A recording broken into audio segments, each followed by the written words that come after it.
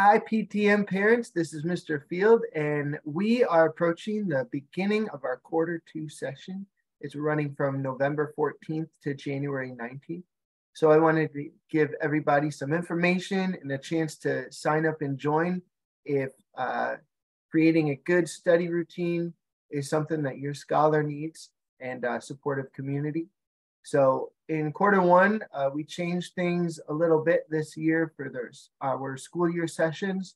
So now I'm tutoring with the high school age students and Miss Charity, who is currently uh, running some study groups in the past. Um, now she is our group session supervisor. So she's starting our sessions off. She's going through the breakout rooms and getting observational data and then giving us feedback at the end. Um, so we hope that those of you who have been with us in quarter one feel like uh, that it's been a nice, strong, supportive community for your scholars. And so we're going to keep that going during session two. And if anybody hasn't been here during session one wants to join, then come on in. We're ready for you.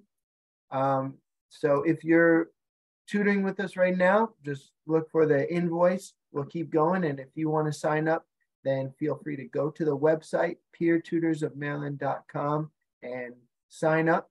And then the Zoom link to join is also on the website and you can jump right in. If you guys have any questions or any concerns, just please uh, feel free to send them on in and we will take that feedback and adjust. Uh, we're so thankful that you've been part of the program right now or even in the past, uh, just to make it what it is. It's so exciting to have a program that students can log in and make sure that they not only complete their homework, but they feel confident and they're ready to go back to their classrooms and share what they know.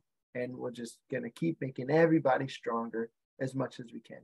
So thank you so much for being a part, and we look forward to having you in quarter two.